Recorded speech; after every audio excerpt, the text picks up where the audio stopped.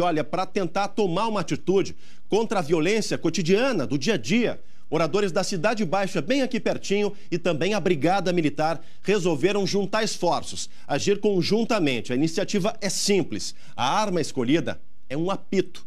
Quem presenciar suspeitos ou assaltos na região pode usar esse objeto para comunicar à vizinhança. Uma vizinhança segura, com as crianças na rua e tranquilidade para passear com o cachorro. É o desejo de qualquer um, mas a realidade em Porto Alegre é bem diferente. Segurança é importante, né? Ainda mais atualmente, que a violência aí está muito grande, né? E a gente se sente bem inseguro.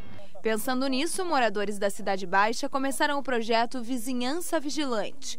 Eles criaram um método de alertar a polícia, um grito de socorro por apito.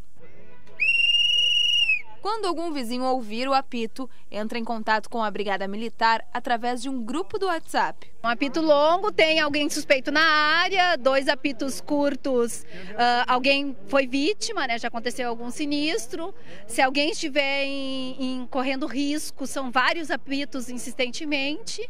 E se já foi vítima, uh, é um apito longo seguido de um apito curto. Quase 100 moradores aderiram ao projeto e para ganhar um apito como esse, eles passaram por um treinamento para aprender a usar o objeto com segurança e eficácia.